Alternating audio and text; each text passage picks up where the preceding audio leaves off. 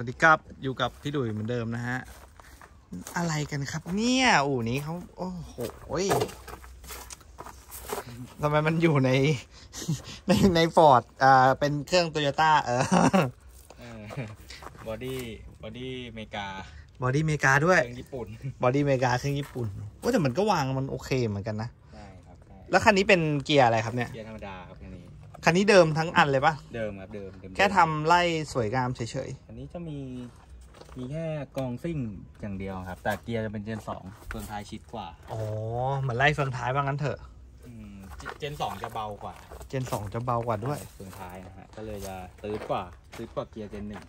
ตื้อกว่าเกียร์เจนหนึ่งเอาแล้วอย่างนี้ระบบฟงระบบไฟก็คือใช้แบบต่อเข้าอันเดิมหมดเลยป่ะครับ ใช่ขึ้นหน้าจอครบทุกอย่างครับ เฮ้ยโคตรเฟี้ยวเลยเออแล้วเนี่ยดูดิ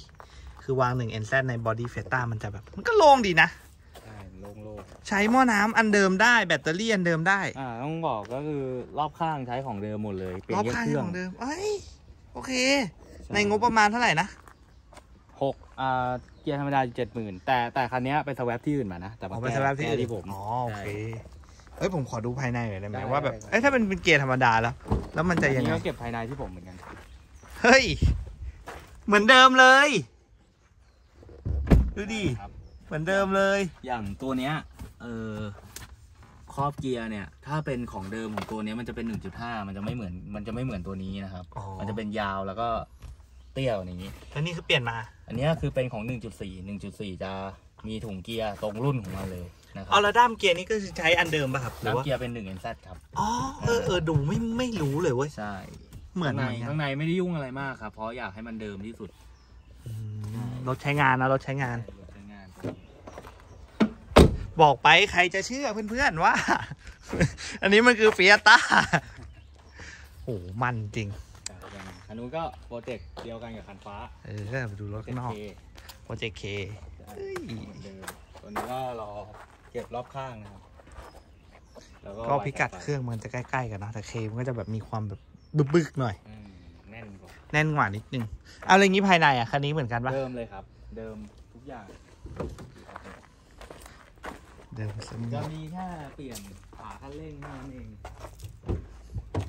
ไหนขอส่องภายในนิดนึงนะฮะข้างในคือเฟต้าเดิมๆเลยเฮ้ย ใช้เกียร์เดิมด้วยเหรอ ใช่ครับ เกียร์เดิมแปลงเอาเฮ้ยเข้ากระชับ ลองจับดูเฮ้ย ไม่ธรรมดาได้เลยแหละ เฟี้ยวอะเออแล้วภายในเขาไม่ได้ยุ่งเลยนะเขาก็แค่ทำแค่ข้างนอกเนาะอ่าว้าวอย่างอันเนี้ยจะพิเศษเป็นเป็นตัว top จะเป็นแอร์ไฟฟ้าตัวนี้จะยุ่งยุ่งเรื่องแอร์มากกว่าปกติโอ้ถ้าเป็นแอร์บิดก็ธรรมดาเลย